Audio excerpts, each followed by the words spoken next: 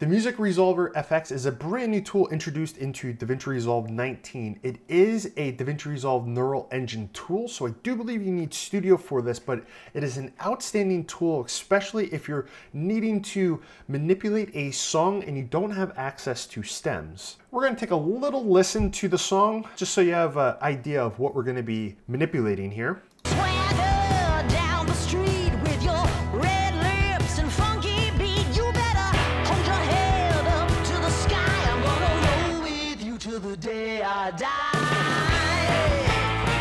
Okay, so that's the song we're going to be working with.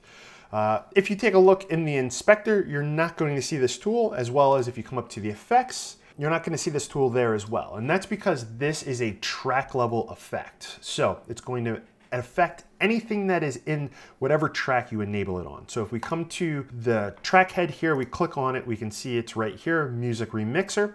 With that being said, I highly suggest renaming the track in which you're going to be adding this onto and you can change the color if that's something you want to do. So let's turn it on. And we can see that we have a couple of different parameters here to change the different levels. And we also have toggles down here to turn off that particular uh, element as well. So if we come back and listen to it a little bit, we can hear the drums pretty significant throughout that. So let's pull the drums all the way down. And they're automatically gone right away.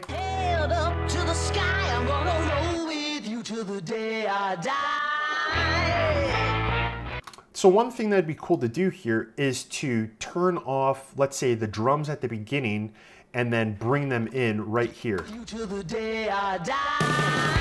Right, so that's the first time we start to hear the drums. But if we take a look over here, we do not have any keyframes down here either. And that's because this tool is primarily for the Fairlight page. Over there, we have a bigger tool set for dealing with something like this, and that is going to be automation. Automation is kind of like keyframes, but it's not on a frame by frame basis. It has to go all the way down to the sample. So if we open this up, we'll see this right over here. So that's just indicating that we could add uh, automation to this. So let's go over to Fairlight and play around with a couple of those because I feel turning the drums off here and then having them come back on right after would be ideal for this particular project. So just coming in, we're going to open this up. Again, we can click on the track head and get access to this. So we'll open this up.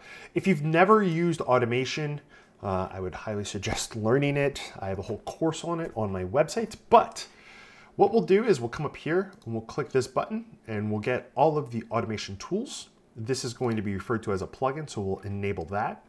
And then I like to come in and turn on latch. I feel like latch is probably the way that I want to start this. And I'll come all the way to the beginning and let's turn the drums all the way down. Because I manipulated, you can see that there's this red at the bottom here that's just stating that there's automation associated with that particular parameter. And then I will record and this is going to record all of the different parameters. If any of them change, it will then save that. So.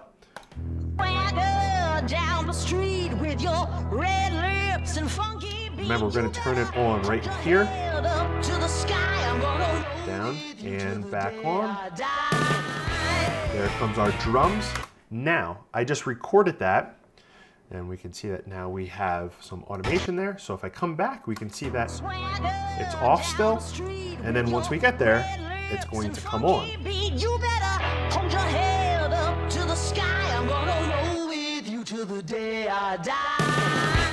Exactly how I record it. We can do it with all the different parameters uh, as well. So we go on, maybe turn the vocals back.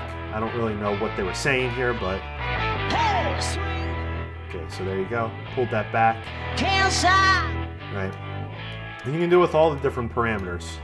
And for some reason, if you want to go through here, at because we're using a mouse, we can only turn one at a time. So we can go through and record again and record something else, right?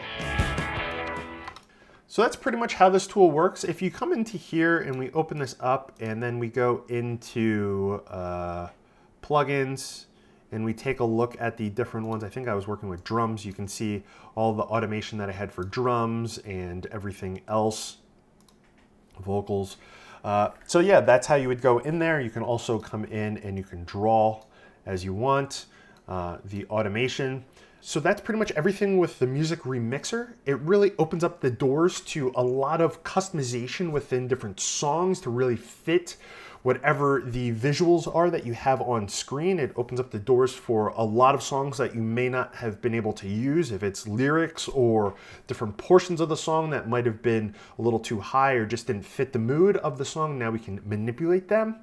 Um, but yeah, with that being said, hopefully you guys enjoyed this. If you do want to know more about DaVinci Resolve 19, on my channel, I have a plethora of different videos showcasing all the new updates in DaVinci Resolve 19. And also, I hope you guys join me over on Post Pro List where we'll be talking about a lot of these different updates. If you do have questions about something specific on that, go over there and ask me.